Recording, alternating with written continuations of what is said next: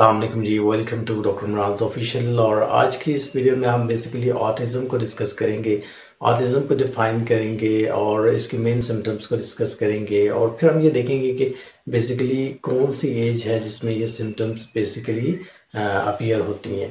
अगर सबसे पहले ऑटिज़म को हम डिफ़ाइन करें तो ऑटिज़म बेसिकली एक स्पेक्ट्रम डिसऑर्डर है जिसका डायरेक्टली ताल्लुक ब्रेन के साथ होता है। और बेसिकली अगर देखा जाए तो बड़ा जो प्रॉब्लम होता है ऑटिज़म से रिलेटेड सोशल इंटरेक्शन और कम्युनिकेशन ये दो बड़े प्रॉब्लम है ऑटिज्म से रिलेटेड अब अगर इसका देखा जाए तो जब बच्चे की एज दो साल होती है तो तब ये सिम्टम्स यूजली अपीयर होना शुरू होते हैं। तब पेरेंट्स को समझ आती है कि हमारा बच्चा जो है ऑटिज्म का शिकार है। तो आज की इस वीडियो में हम सारी चीज़ें डिस्कस करेंगे इंशाल्लाह आगे जाके।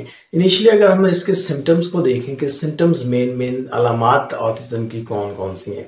मेन जो ऑटिज़म की अलामत है तो उसमें सबसे पहले तो रिड्यूस आई कॉन्टैक्ट बच्चे का जो आई कांटेक्ट है वो बेसिकली रिड्यूस हो जाता है। आई कांटेक्ट क्लियर नहीं होता बच्चे का।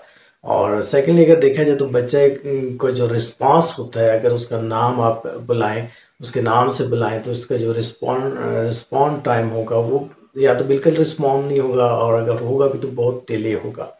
और फिर इसके अलावा अगर थर्ड नंबर पे हमारे पास इसका सिम्टम्स मेन सिम्टम्स देखें तो ऐसे बच्चे एग्रेसिव होते हैं बहुत ज़्यादा। और एग्रेशन के बाद फिर अगला जो स्टेप आता है, जो इनकी लैंग्वेज स्किल होती है, वो लूज़ कर जाते हैं सोशल स्किल होती है, वो लूज़ कर जाते हैं। तो ये जो बेसिकली सिम्टम्स हैं मेन मेन सिम्टम्स हैं, जो डेफिनेटली अपीयर होती हैं आफ्टर टू ईयर के बाद। और फिर आगे जो वीडियो के पार्ट्स हैं, उनमें हम ये सारी चीज़ें डिस्कस करेंगे सोशल बिहेवियर के सिम्टम्स को डिस्कस करेंगे।